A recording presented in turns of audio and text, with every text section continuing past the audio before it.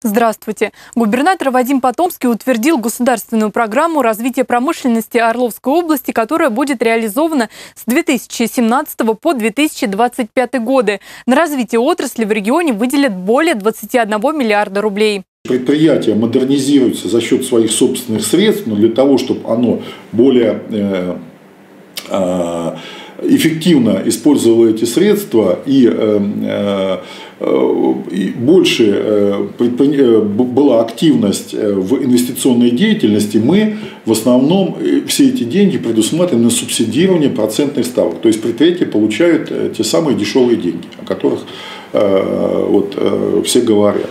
Это первое направление. Второе направление – это создание фонда развития промышленности.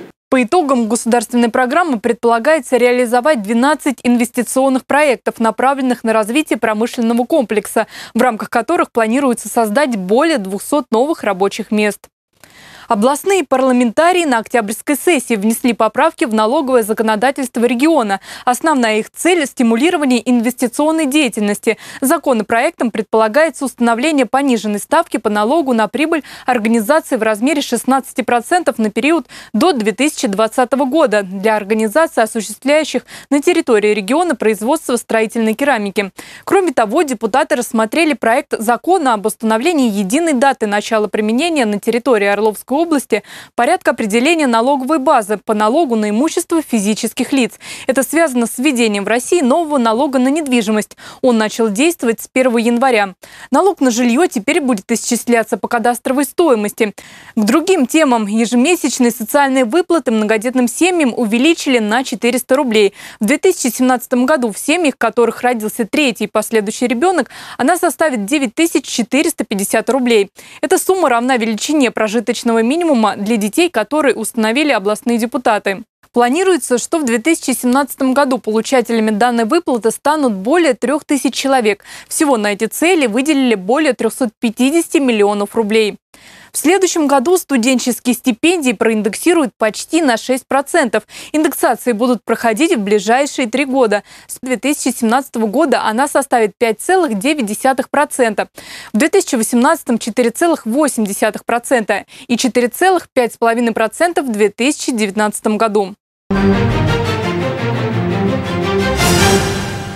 Как стать более экономными? На минувшей неделе этому орловских предпринимателей учили сотрудники Сбербанка. Мероприятие прошло в рамках недели сбережений. Всероссийская неделя сбережений весьма полезна оказалась и для орловчан. Главный банк страны проводит ее уже в третий раз. Как тратя продолжать экономить? Своими знаниями банкиры делились с клиентами.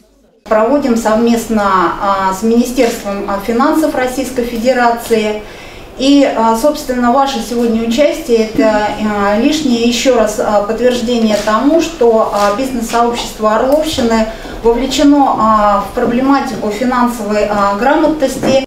Финансовая грамотность – залог накоплений, а в России всего 33% знают, как и куда вкладывать сбережения, чтобы те приносили прибыль. Орловчане, пришедшие послушать, весьма положительно отзывались о мероприятии.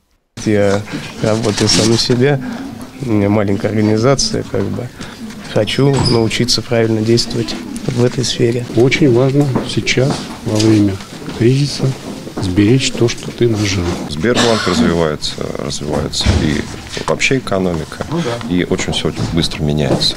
Не хочется отставать от всего этого о наполняемости финансового портфеля, о том, сколько откладывать от зарплаты и, главное, о необходимости накапливать финансы. Обо всем этом шла речь. Участие в инвестиционных накопительных программах, кстати, имеет гораздо большую процентную ставку, ежели вкладчик будет хранить средства на обычном сберегательном вкладе.